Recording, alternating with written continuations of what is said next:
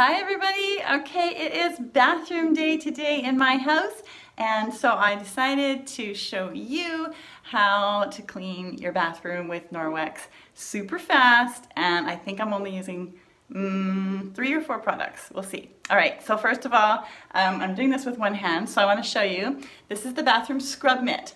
This is what does pretty much every job in the bathroom. It's scrubby on one side, you see that? Scrubby. And this side is soft. The soft side has silver in it. So when you do your scrubbing of your sinks and even your toilets, your bathtub, everything, you're scrubbing away everything that's stuck on. I'm gonna show you what my sink looks like in a sec. Flip it over and then you've got the silver side on here to do a little extra backup and it's not gonna grow any kind of bacteria or any or mold or anything because it's got antibacterial silver. Okay, so have a look Okay, here we go. Here's my sink. Got hair in it. It's gross. There's some toilet toothpaste. Woohoo! I wonder who didn't get the toothpaste in their mouth this morning. All right, and here is the scrubbing mitt. So I've got this wet, and all I'm doing is just gonna scrub around inside with just water, not using anything else. It's awesome because it does such a good job. Whoops, that's my peppermint soap. I'll move that over here. Okay, bathroom. I love that my hand is in a mitt. Turn the water on. Get a little bit of extra water going there. This is the scrubby side. When I want to flip it over and polish my tap, I can do that too. Look at that. See? With the silver side. Okay, turn that off. Shines like crazy gone. You don't have to be using all kinds of chemicals to remove everything out of the sink.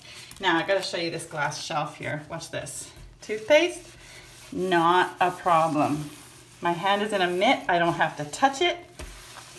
Gone. Gonna flip it over onto the soft side. There we go, done. Okay, that's it.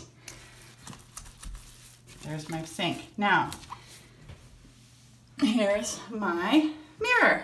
Oh, there's some toothpaste on that window. Got my window cloth here. Clean it away. That was quick. Now we're gonna go over to the toilet.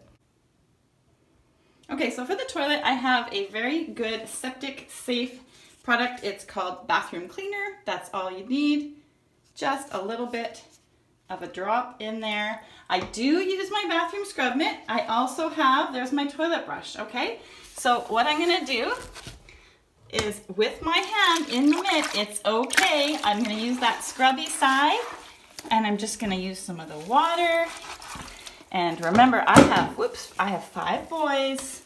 So I know what it's like, you guys. But it's gotta get done, okay? So that's the mitt. squeeze it out.